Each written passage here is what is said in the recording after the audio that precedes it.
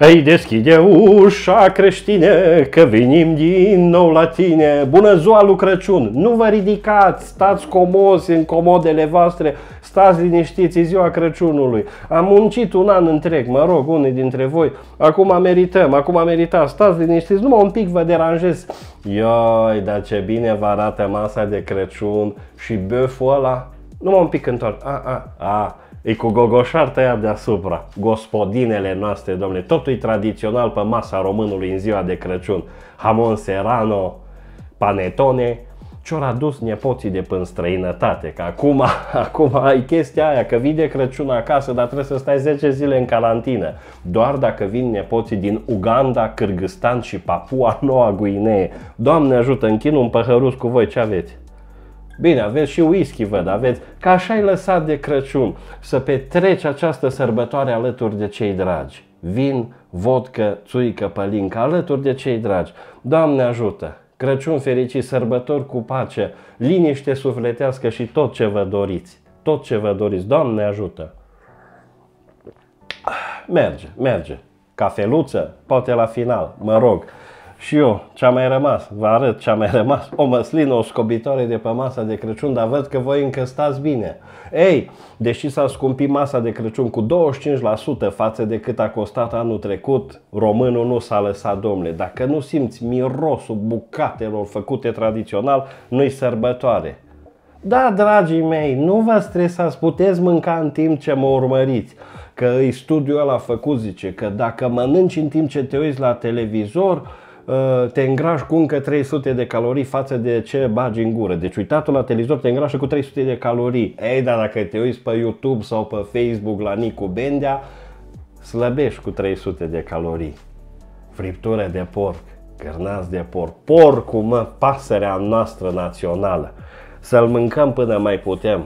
Porcul e la mare preț. N-ați văzut că au ajuns să vândă înainte de sărbători în comerț șorici de porc falsificați, mă au falsificat șoriciul de porc, că știu cât iubește românul porcul.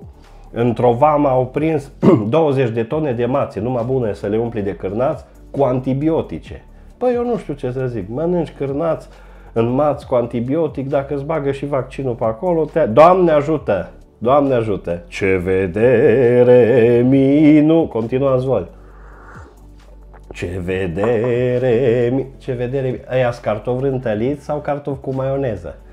Da, porcu. Să-l mâncăm până mai putem, domnule, să-l mâncăm până mai putem, că de la anul ce zic ăștia, țăranul, românul, românul adevărat, nu mai are voie să țină în cocină, în gospodărie, mai mult de 5 porci. Acum sfată vaca 6, ce faci? Al șaselea la arunci? Și ce face? Aduce un politician în locul lui, că la ăștia le place să sugă la țâță o măslină, o scobitoare, ceva, o buletă de cașcaval, un doboș tortun, atâta a mai rămas.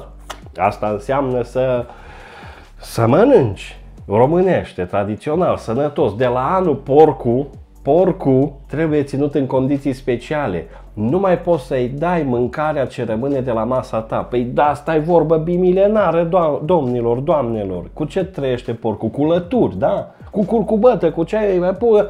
Acum ce te duci în cocină la porc și le întrebi, uh, avem la meniul zilei și acum, de acum, de la anul, așa se stipulează să intri în cocină la porc cu botoșei. Păi cocină, nu-i farmacia, alo!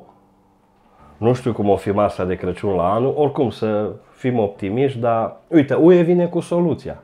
După ce au uh, uh, validat viermele de făină, acum zice că ar fi o hrană bună și lăcusta călătoare, să vă băgați în cur. Noi nu mâncăm așa ceva. Noi rămânem pe principiu vorba nașului Claudiu Purcărin, porc și pui, adică tot ce înseamnă grajd și cocină pui și vacă eventual. Mă rog, să fim sănătoși. La nunta ce s-a întâmplat la nuntă Cana Galilei. Ha, astăzi se colindă, domnule. Azi mâncăm tot ce avem și de luni comandăm pe Glovo sau pe cum îi zice, comandăm la domiciliu. În Cluj-Napoca, de luna viitoare, glovării, cei care merg cu bicicleta să aducă mâncare, vor oferi și cursuri de prim ajutor. Adică nu, o, o fac acum cursuri de prim ajutor și o să acorde ei prim ajutor, Doamne ferește, în caz de accident. Glovery. Și așa vine mâncarea greu. Acum mai au o scuză, pe eu a fost accident și o trebuie să-l resuscitez. Cu ce l-ai resuscitat? Cu două Big Mac? Hai să fim serios. Mă, apropo, să termină anul și eu n-am văzut încă bancnota de 20 de lei. Bine, eu în general nu prea văd bani, dar Bancnota de 20 de lei aia apărută de 1 decembrie cu Ecaterina Teodoro, voi ați văzut-o? Nu știu, cred că do- toate doamnele au luat-o, că noi cu femeie și se uită așa la ea, ca în oglindă se uită, ca urățică, normal că e de 20 de lei. Păi uite de mami, și tu, bancnota de 500 cu Eminescu. A, asta e mai frumoasă, sunt mai frumoasă, eu mă oglindesc. Pe Eminescu nu-i femeie, Eminescu e bărbat. Da, da, a scris așa de romantic, nu mai am cu Eminescu să mă duc să fac ceva cumpărături pentru Revelion, pentru anul nou. Ah, sănătate! Mă bucur că ne-am întâlnit și azi. Nu vă mai rețin, petrecere frumoasă, distracție plăcută, de acum s-o dat dezlegare la tăt, tăt, tăt, tăt, tăt, tăt, tăt. Așa că după un post binecuvântat, merită măcar două, trei zile, merită românul două, trei zile de distracție. Sănătate și tot ce vă doriți.